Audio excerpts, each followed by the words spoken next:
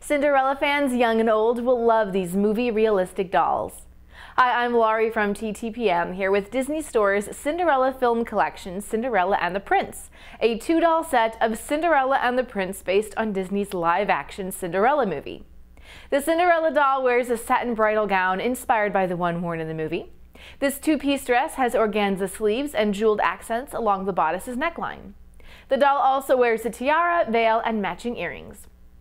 The prince doll is dressed in wedding day attire of golden embroidered tunic with satin sash and epaulettes with golden finish. The prince wears black boots with white pants that have gold detailing along the side. As you can see, these dolls are very detailed and will appeal to young fans of the movie and doll collectors alike. The movie realistic outfits and facial sculpts help bring the characters to life for kids who want to play out favorite scenes from the movie or imagine all new storylines for Ella and Kit.